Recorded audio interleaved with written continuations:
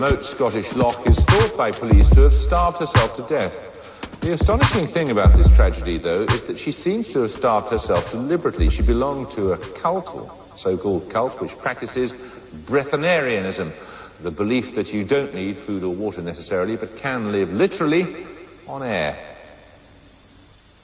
This is the kitchen of a breatharian.